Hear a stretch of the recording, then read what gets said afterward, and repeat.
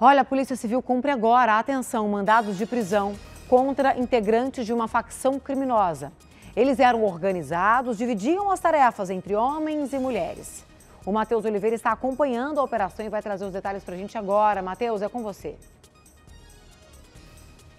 Exatamente, Manu. Essa operação foi batizada de colapso e cumpre neste momento 26 mandados de mandados judiciais aqui no estado de Goiás. São 13 de prisão e 13 de busca e apreensão. Como você disse, ah, os alvos são membros de uma facção criminosa, uma organização criminosa de fato, especializada em vários crimes, mas principalmente no tráfico de drogas e também na venda ilegal de armas de fogo. Quem tem mais informações para a gente é o delegado Samuel Moura, que está à frente dessas investigações investigações. Delegado, é isso mesmo, né? Vários mandados sendo cumpridos neste momento, inclusive em várias cidades aqui do estado de Goiás. Bom dia para o senhor. Bom dia, isso mesmo. A, essa investigação ela foi iniciada a partir de uma troca de informações com a seção de inteligência da Polícia Penal. Então a gente rapidamente conseguiu identificar uma célula que se que ligada a uma facção que se auto-intitula é de ADE.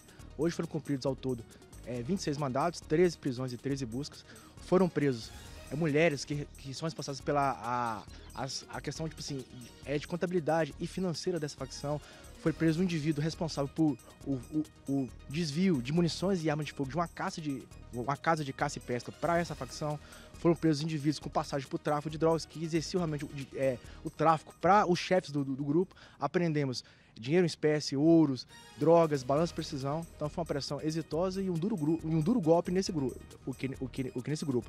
As investigações continuam para identificação e prisão de novos integrantes. Agora, algo interessante que o senhor repassou para a gente, inclusive, é a organização desse grupo. Né? Ele era dividido em cada um tinha sua função, eles eram muito bem organizados. É, desde a da questão dos, dos indivíduos que ocupam, que ocupam a função é, é de liderança, muitos que nem estão aqui em Goiás, e realmente aqui eles montaram toda essa estrutura para o domínio do tráfico de drogas, especialmente na região do Jardim Cerrado aqui em Goiânia, cidade de Morrinhos e de Santa Helena. Então a gente conseguiu é, derrubar toda essa estrutura, os, desde dos indivíduos que, que são realmente os traficantes, das mulheres e desse indivíduo que tem um papel muito importante, que é ele que fornece as armas utilizadas em alguns homicídios, as munições para o, o que para esse grupo. Então, é, a investigação se trata de organização criminosa especializada no crime de crimes hediondos. Ou seja, né, alimentava, né, fomentava o crime de várias formas aqui no estado de Goiás. Os mandados, inclusive, foram cumpridos não só aqui em Goiânia, mas também no interior. Sim, aqui os mandados foram cumpridos em Goiânia, na Aparecida de Goiânia, cidade é, é, é São Canedo,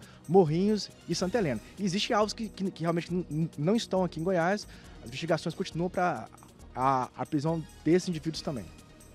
Todos os mandados de prisão foram cumpridos? Algum fica foragido? Temos uma mulher que, que, que se encontra já, quem se encontra na, na, na condição de foragida, as equipes estão na rua com o intuito de localizá-lo e prendê-lo.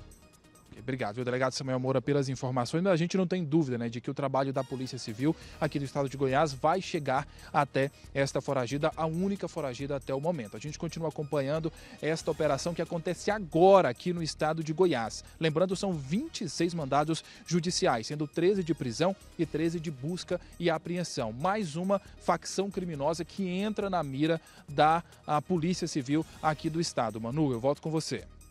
Obrigada, Matheus. Obrigado ao delegado. Parabéns por essa iniciativa. Parabéns por mais esse trabalho realizado pela polícia. A gente sabe que é uma questão de tempo até que essa foragida seja encontrada e seja presa, né?